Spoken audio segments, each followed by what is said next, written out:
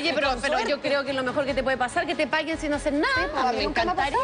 Parece, ser, Nunca. parece ser el sueño del pibe, pero yo debo confesar que en una ocasión estuve así y la ¿No es verdad que es súper horrible. Estresante. Porque está ahí como... Como palego. Claro, está ahí con un sueldo, pero no, no palego, sino que además con la, con la incertidumbre. Por eso, cual- pues. Porque es lo que sale hoy en el diario La Cuarta que dice que, le- que están con olor a gladiolo, básicamente, Ah. algunos de televisión. Dice, olor a fiambre le pusieron en La Cuarta. Más, Es como que me más están, terrible me están pagando. peor olor. Es como esa sensación de que me están pagando, pero no me usan porque de verdad no sirvo. o de Oh, Bueno, verdad no me estamos hablando de al menos Es tres verdad rostros que se salen hoy día en el diario La Cuarta, que serían Carolina de Moraz, igual que sí le gusta a ella que le digan. ¿Cómo? Yo le De digo Moraz. Carolina de Moraz, pero Carolina de Moraz le gusta a ella. De Moraz, Eh.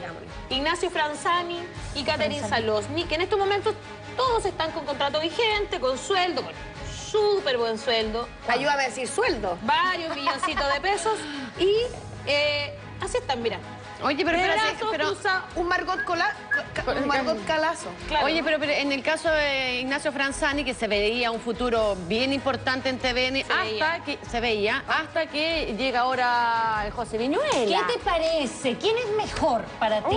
Como televidente, como espectadora. Chuta, ¿Qué ¿quién es te mejor? A mí en lo personal me gusta, me gusta José Vi- eh, Miguel Viñuela. Ah, ¿se pero a, a mí me gusta cómo lo hace. Creo que, que para el ¿Cómo lo matinal, ponte tú, sí, por lo que se especula que probablemente Se podría. especula. Porque siempre que no, cuando no está el animador oficial, eh, reemplazaba a Franzani.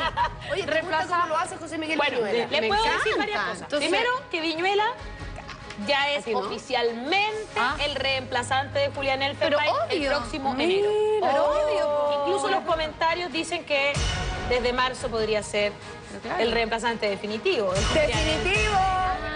O sea, Ahora, que va a entrar reemplazante en las en vacaciones. las vacaciones de Julián. Pero ustedes saben que los reemplaza Claro. en Buenos Días a todos son, pero conocidos, ¿no? Desde que Margot Cal reemplazó a Tati Pena, que eso es Ya así. empezó aquí el escojo. Oye, yo Empezó también he a reemplazado gente, pero no ha pasado nada.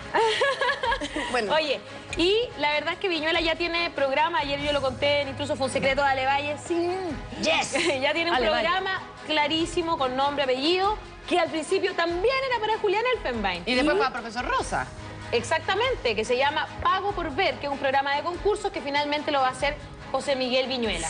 Y lo otro que va a hacer José Miguel Viñuela, que Oh. también podría ser, eh, y que también será reemplazando a Julián Elfenbein, es el Festival de Iquique. Oye,